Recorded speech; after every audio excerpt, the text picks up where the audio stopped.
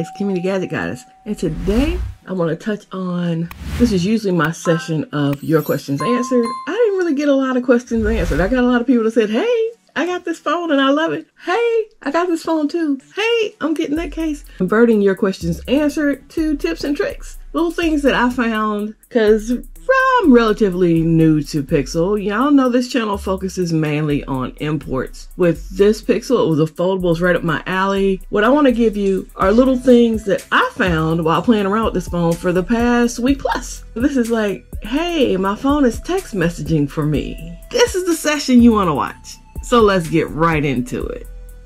Let's start off with things that are kind of native to Pixel phones, and Pixel says, hey, why don't you try this out? Which would be hold for me, call screening, and flip the.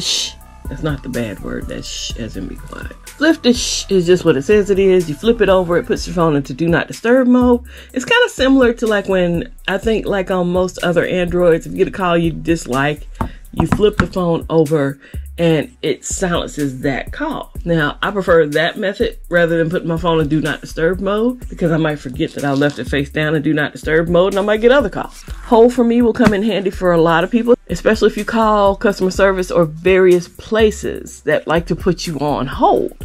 What it does is the phone alerts you to when there's an actual human being on the other line or something that requires you to give a response rather than you just sitting on the phone holding like, oh my God, what are these people gonna pick up? Very helpful. I've used that. And I have used call screening. Now, call screening is one of my favorite features. Anytime I leave a Pixel device, I miss call screening. Then you make sure you go through there and you turn it on. And they've even broken it down to where you can send a lot of these calls that they anticipate are spam when they come in. You can send them straight to call screening. So my phone rarely rings down unless it's my people. So it's something you really need to get into. And you want to go into settings. You want to go into the hamburger menu on the side. You want to drop down and you'll see call screen. You want to tap that. And then, yeah. I leave it open for first time callers because I do have some first time callers and I don't want them to be screened if I know they're coming. If I don't know they're coming, they're going to get the same treatment as everybody else. But speaking of call screening and me using it recently, I did notice that I can change the voice of the person who is talking to these people. It's always a woman before. Now I have a man that does it. So my call screener is a man, but you can change it. You can pick various voices, pick what you want. Another question I get asked sometimes on streams and sometimes just by people is about my video wallpaper. Not that they personally want mine, but they take interest in the fact that it is a video wallpaper and it's not something that they've pretty much seen. So I will let you know that this is actually an application called Video Wallpaper. It's literally called Video Live Wallpaper. And I will put up the little image in the App Store. And when you go into it, literally you can take any video that you have on file and make it your video for your phone. It's worked on all the pixels I've had. Now when it plays, it plays with sound typically. I have the sound fairly low on mine. But see, it's playing with the sound. So if I tap that, it's to give me an ad first. Once you tap that, it'll say set wallpaper. You tap that and say you set it for home screen, live screen, or both. You select that and it makes it your wallpaper. Mine is already set. One of the other things that kind of improved a little bit was the Now Playing. And Now Playing now has a setting to where you can access songs that you could not locate previously. Go into settings, you go into Now Playing, and it's selected to identify near songs. But there's also a button in the middle that was turned off that says show search button on lock screen. And this identifies songs playing nearby that aren't recognized by your device. How now playing search works if a song has not been identified on the device recognition, you can tap the search icon and search for a song. When you search, Google receives relevant audio info needed to identify what's playing nearby. My phone just went off in the middle of that. I will tell you that's one of my rules that's set up. Whenever I'm connected to my home internet, my device is set to sound. Whenever I'm connected to my work internet, my device is set to silent. So since that came up and it wasn't even on my list of things to cover because rules have kind of been around, I'll show you how that works. So if you go into settings and search for rule, it'll come up with rules and you can set up your own rules. Well, I have the Gadget Goddess network here and I've set that to ring. I have my work network set up under it and I've set that to silent. I don't have to remember to turn my so- sound on and off when I go to work. Cause, you know, I'm all about some sounds if I'm not interrupting other people and their flow and I'm not sitting with a client. But if I'm sitting with work client, I don't want my phone yelling out gadget goddess and stuff, you know? Something else that might be helpful for people while they're at work. I allow apps to snooze. Let me show you how that works. If you go into notifications, once you're in notifications, you want to go to down here to the bottom. then you want to go down here to allow notification snoozing. You see this Z up here near Bleacher Report? I can tap that and it snoozes for an hour, but I can drop it down and say, hey, I only wanted to snooze for the next 15 minutes. So after it snoozes for 15 minutes and I am done with this video, Bleacher Report can blow me up like it's been doing the whole time. You're in a group text and people are getting really active, it happens to me a lot. I will snooze it. So I find this really helpful for people who have really active phones, content creators, business people, just people who can get various alerts from various sources that sometimes you need to focus on one thing and people just aren't allowing you to do so. Secure people, people who don't like the business out there, people don't like their phones lighting up showing all their messages. This is for you. I'm a watch wearing person and I don't like my screen lighting up saying, hey, you got a text message. My watch tells me that. To fix that feature, you would go into security and privacy, more privacy, and you're gonna go into notifications on lock screen. And I have mine to not show at all. Some people want them to show, but just not the sensitive information. Listen, I'll default back to when I told you I don't get great battery life on this phone. I'm still not getting great battery life on this phone, and I know others are. But this is one less thing to wake my phone up and drain my battery. So my phone does not light up when I get notifications, which is a blessing to me. And it might be a blessing to some of y'all. If I have any iPhone people, this might be something that you are familiar with. I always called it back tap when I had an iPhone. You can set up back tap feature on your Pixel. So what you're gonna do is you're gonna go into system, because that's what it told me. And then you're gonna go into gesture. And under all these features, you know, you have the quick to open cam and everything else. You're gonna go to quick tap to start actions. What I use my quick tap for is to take a screenshot. You can use it for the digital assistant. You can play or pause media, see recent apps, show notification, toggle your flashlight, or you can just pick whatever app you want. So you're not limited just to those at the top. I do screenshot because I take lots of screenshots. Make sure you turn on that require stronger taps button at the bottom. Otherwise, you're going to be taking a lot of screenshots. It's not even doing it here, so it was pretty rough. Okay quick tap detected. So it did say that it detected my tap. I guess because I'm in this feature right now, it's not taking a picture. It took the picture. Another thing that's pretty helpful about um, pictures, if you want to save pictures, I am going out on the edge and getting on my Instagram right quick. That's a video. So let's see if we can find a picture. All right, found me a picture. Thank you, Carolina Panthers. So if you're ever on a site or whatever that has pictures, swipe up like you're trying to put it in the background and you'll see this little picture icon pop up. You tap that and it steals just the picture. So I want to save that and now it's saved. Now if I want to see the picture that I just saved, I just go into files and there's that picture that I just saved from the Panthers. Well, that's another tip for you so you don't end up screenshotting everything like I do in my regular life to keep receipts. Another thing that's helped me a lot since I've been struggling with this battery is active apps. According to this phone, I don't have any active apps right now. And you can see what is active on the phone during that time. So let me see if I can make this have an active app. So I'll open up YouTube. And down here at the very bottom, it'll say one app is active. And I can tap on that and it tells me YouTube has been active for one minute. If I want to stop that app, I just hit here and it will stop the app for me. So YouTube is no longer playing. This has come in handy since I've been battling my requests to see how I can achieve better battery life on this phone. I'm not to dwell in that, but that's this one thing I'm using in my battle with it. Now this one's fairly new to me. Just started using it today because I just found it today. Fun, fun, fun. That's why I had to make this video for y'all. Okay, Google, activate voice access. So now voice access is on, right? It's keying every word that I'm saying. It can't understand that. That's fine.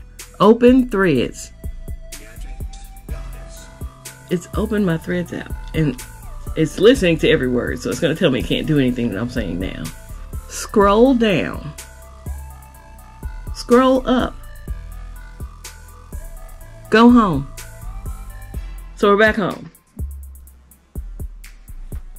So I'm going to tap this to pause it. One of the joys in this is after I've used it and just played with it for a little while, I have the setting for this turned on to after 30 minutes.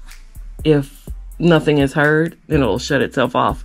That way I don't have it just running and draining my battery but it's something cool to kind of play with. I don't have it all the way figured out, but I would think for issues or like when you're in the car and things like that, it can very much send text messages for you. Let's say you want to scroll threads and you're eating chicken. You don't want to get chicken grease all over your phone. It does that. Let me tell you how to get into this because it gives you a tutorial, which I'm not going to walk you through a tutorial because I'm fairly new to it. Go into settings. You want to go into accessibility. Once you go into accessibility, you want to go into voice access.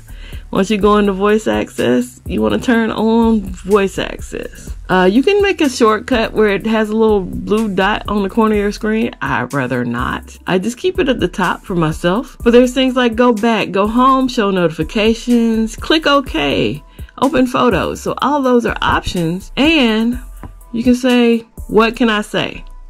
And there's your little options for different things that you can say couple things you want to do just for like improvement's sake. Spatial audio. I would say make sure you turn it on for your speakers. Your sound and vibrations maybe.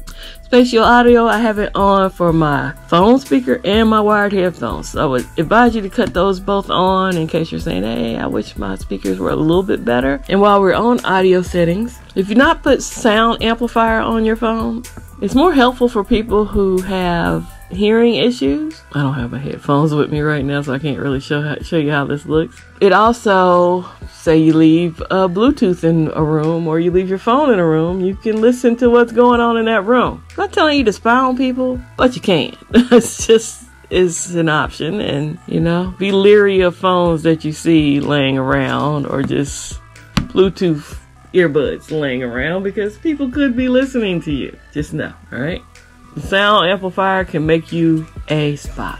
And these last two are just going to be for my very private or secretive people, or just people who like to keep things neat in their phones, because you know, phones can suck up your data relatively fast, especially those who might have wanted the 512 and you got the 256. If you did get a smaller storage and you are concerned about running out of storage, let's go into files. And what you can do is you're going to go into settings and there's a place that says smart storage. And you can permanently delete media backed up Google Photos that you've had on your device longer than 30 days. Now, this is for my people who have the cloud. I do have Google One and have the cloud.